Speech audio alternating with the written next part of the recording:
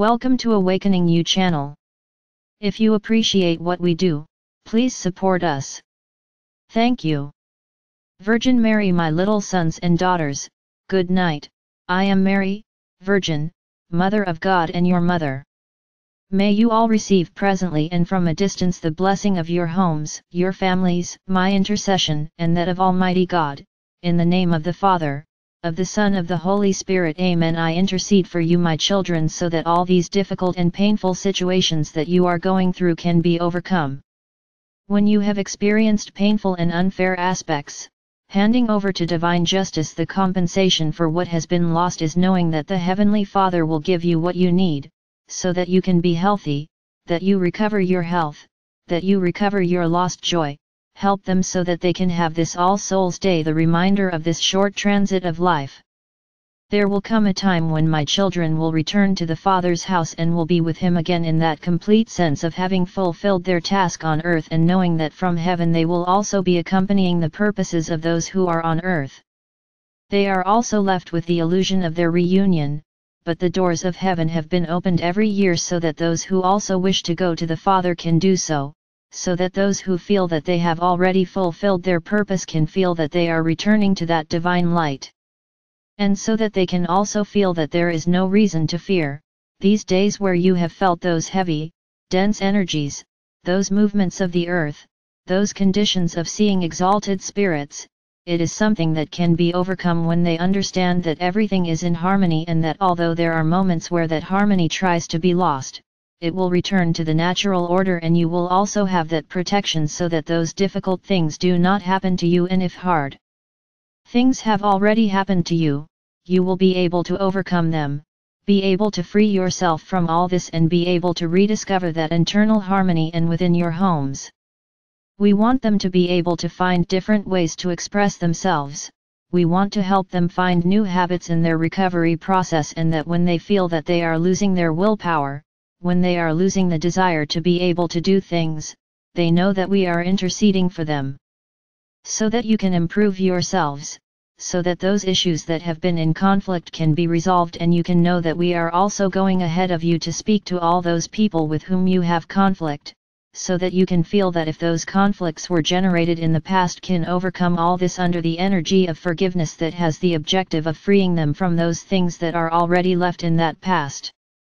Ask God to recover that internal joy of happiness and that in this time that returns to the inner child, that returns to take stock of a year that is ending, it is the joy that everyone, as a joint creation, works from a distance with the I wish that there are no more wars, that there are no more kidnappings, that there are no more warlike attitudes of brother against brother because it does not matter to what political, social, ethnic condition they may belong, because at the end of the day my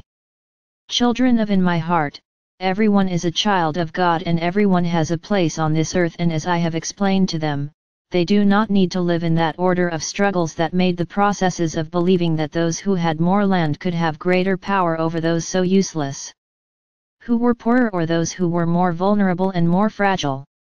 From war, the only thing that remains for my children are losers and that is why they tune into the peace that is also internal, it is to stop fighting with life, it is to stop fighting with the darkness, it is to stop fighting with all those hard things that are in the path and that if they exist under the will of God they can receive protection so that He does not attack them, because the more you generate a battle against all that darkness and that evil, the more they will also feel that. They have to fight with you because all the good the regular, the bad, the living, the dead, the demons, have a place in this world and under the protection of God they have been created and everyone has that right to exist. We preserve from love that those who are subjugating others free them, that they can feel that they have the opportunity to live in freedom and that this freedom between all parties is in a process where one's freedom begins where he establishes his path and ends where the freedom of the other begins. We want you to feel in my sacred mantle my motherly company, my infinite love, my joy of welcoming new relationships, my joy that you can fall in love and build homes and families. They are so scared and so scared thinking about what could go wrong and wanting a partner but every time someone new comes along they see them as their enemy or as a person who comes to harm them that they forget that love in itself does its job of trust. and that they can establish the truth from the innermost process so that they flow in the best conditions as a couple. We welcome those new mothers who get pregnant and are starting a new stage, those who are wondering if they are really good daddies or good mommies and we will be accompanying them as we have always done to make this process more favorable, so that they can also understand each other in the face of that project that they establish as a couple in a family concept that does not necessarily it has to be two people who live together under the same roof, but the harmony of two people who have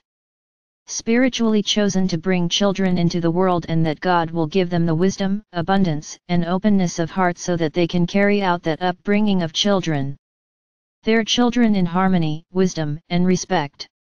When there is order, my children, when there is an opportunity to establish respectful rules, it is much easier to carry out projects, we are going to help them calm down before God and understand that there is never judgment and that in God's eyes His children always do everything well and that He never judges them so it is time, my children, to stop judging, that being compassionate with yourselves is not feeling sorry for yourself, that being compassionate with yourself is not playing the